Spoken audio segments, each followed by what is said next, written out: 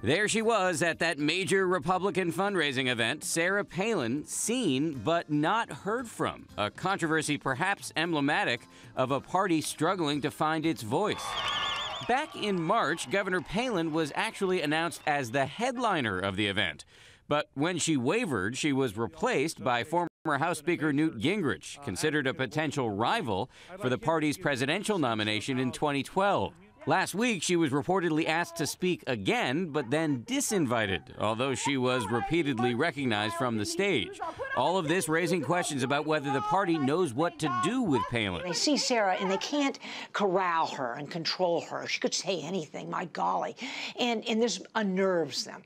Palin is clearly wildly popular with parts of the party base. She drew a crowd of 20,000 in upstate New York over the weekend.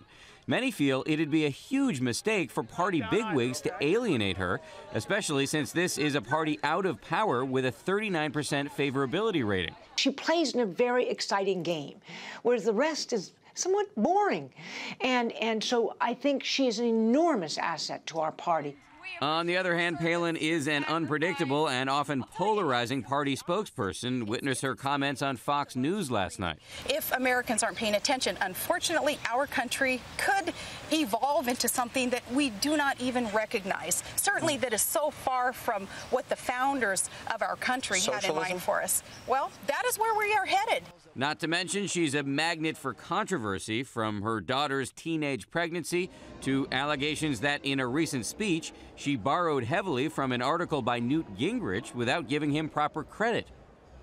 Gingrich's remarks last night were gracious. I felt looking at John McCain and Sarah Palin, this country would have been amazingly better off had they been in the White House.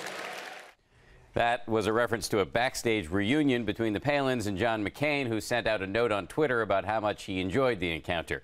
It's unclear how long this Palin kerfuffle will play out, but there's one thing that is unquestionably true. The Democrats are enjoying every minute of it.